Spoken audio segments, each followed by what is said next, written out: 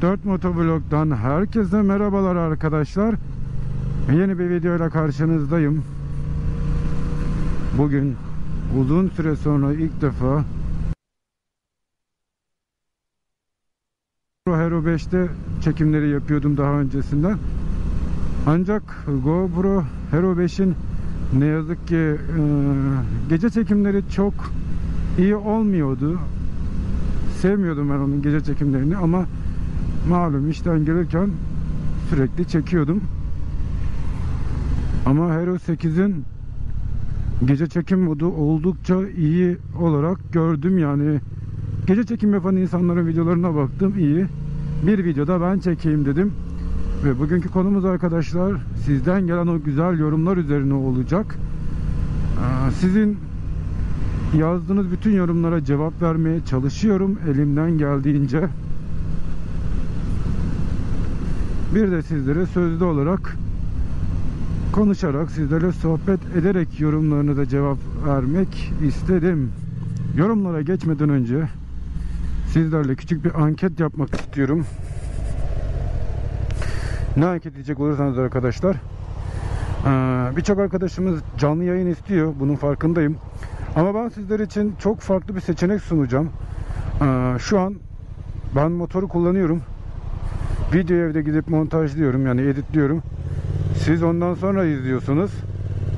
Peki beni video çekerken canlı olarak yani motor sürerken canlı olarak izlemek ister misiniz canlı yayında?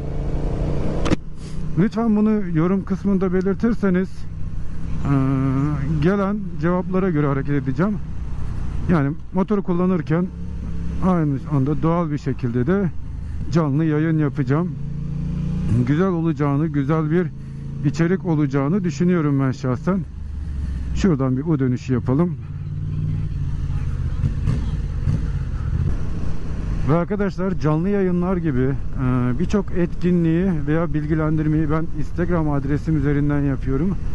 Şu an sağ alt köşede görmüş olduğunuz Instagram adresimden e, beni takip edebilirsiniz. Buradan bana ulaşabilirsiniz her zaman.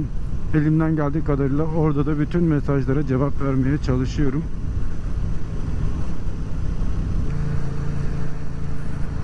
Evet arkadaşlar en çok gelen yorumlardan başlıca yani İsviçre'deki motor fiyatlarını çok merak ettiğinizi söylüyorsunuz. Bununla ilgili benden video bekliyorsunuz.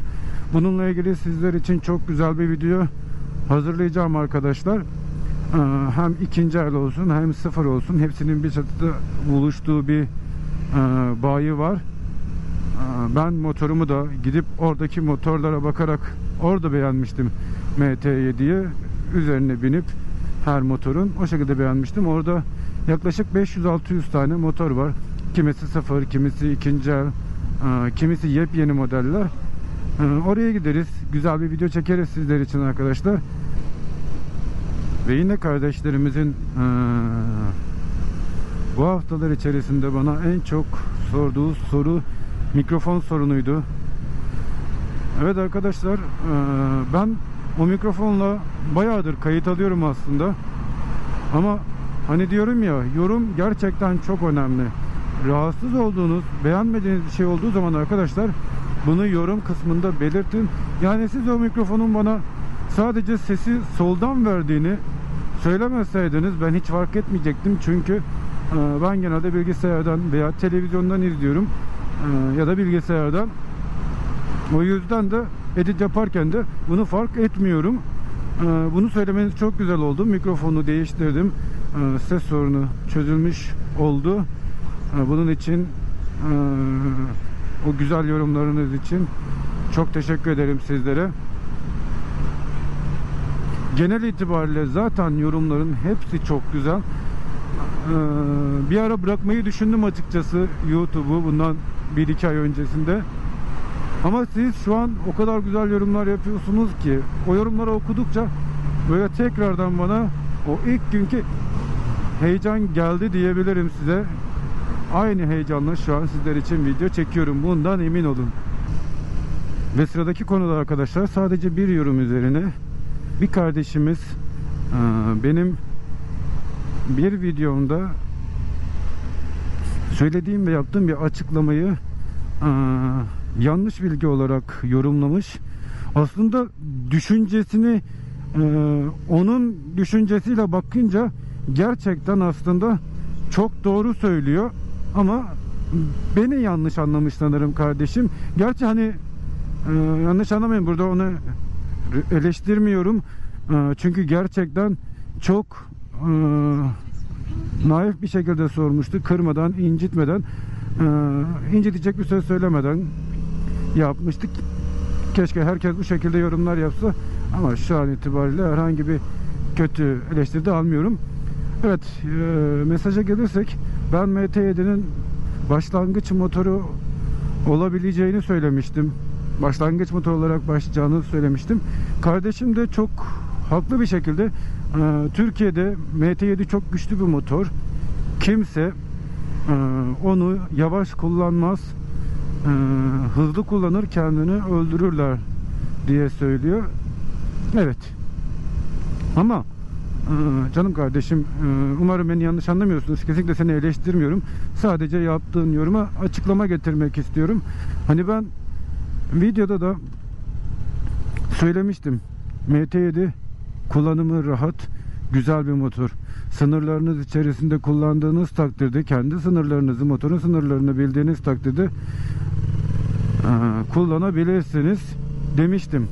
Ama eğer bir insan sınırlarını bilmiyorsa ee, gereksiz hareketlerde bulunup gereksiz yerde aksiyon yaşayacaksa ya bırakın MT7'yi scooter bile kullanmasın. Çünkü MT7 gerçekten e, kullanımı rahat. Hani benim için rahat ve ben e, ilk defa MT7 kullanıyorum. İlk defa büyük motor kullanıyorum. Buna göre rahat ama gerçekten çok güçlü bir motor. İvmelenmesi ve torku e, kullanan kişiyi bile yani arkaya yapıştırabiliyor. Ee, gazı verdiğiniz takdirde ve canınızı yakabilecek bir motor. Gerçekten MT7 eğer sınırlarınız içerisinde kullanmazsanız canınızı yakar. Sınırlarınız içerisinde nedir arkadaşlar?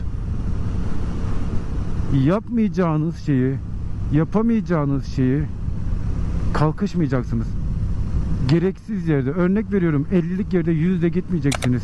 Trafikte makas atmayacaksınız sınırlarınız olacak anladınız mı? Ben bu motoru bu bu bu bu şekilde kullanacağım. Böyle güzel kullanacağım diyeceksiniz. Sınırlarınızı koyacaksınız ve o şekilde kullanacaksınız. MT7 de sizi üzmeyecek ama siz bunları yapmazsanız MT7 sizi çok üzer. Buradan da o kardeşime tekrardan teşekkürlerimi iletiyorum. Aslında güzel de bir noktaya e, değinmiş oldu. Ben de bu durumda çek ettim kendimi ve o anki yorumumu düzeltiyorum şimdi. Sonraki bir konuya geçelim arkadaşlar. Birçoğunuz İsviçre'yi görmek istiyor. Doğasını, yeşilliklerini, çevreyi e, görmek istiyor. Birçoğunuz ştatları görmek istiyor. Yani şehirleri, merkezleri görmek istiyor.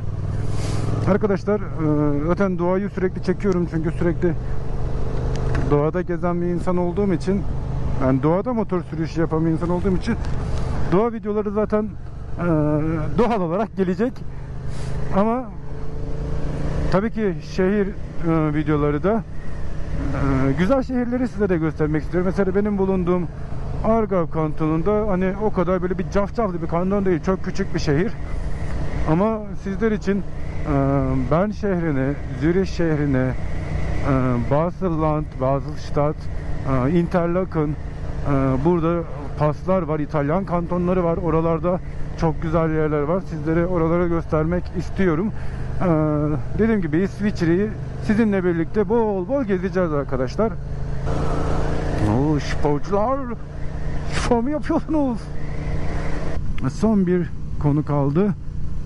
Bu da arkadaşlar İsviçre'ye e, nasıl gelebiliriz? Biz orada nasıl yaşayabiliriz? diye sorular geliyor. Ee, bununla ilgili çok kapsamlı bir video yapacağım arkadaşlar. Ee, öğrenci olarak gelmek isteyen için çalışmak için gelmek istediğin için evlilik nasıl olur ya da burada oturum nasıl alınır? E, bununla ilgili bir video yapacağım sizlere. E, takipte kalın arkadaşlar. Dediğim gibi sırasıyla sizlerin istediğiniz bütün içeriklerin videolarını çekeceğim. Ve benim de sizlerden arkadaşlar küçük bir ricam olacak Arkadaşlar izlediğiniz lütfen her videonun altına iyi veya kötü yorumlarınızı yazın. Ee, lütfen boş geçmeyin. Çünkü sizler e, video hakkında beni bilgilendirdiğiniz takdirde iyi ise daha iyi. Eğer videoda bir kusur e, sevmediğiniz bir durum olduğunda yine bana bunu söyleyin.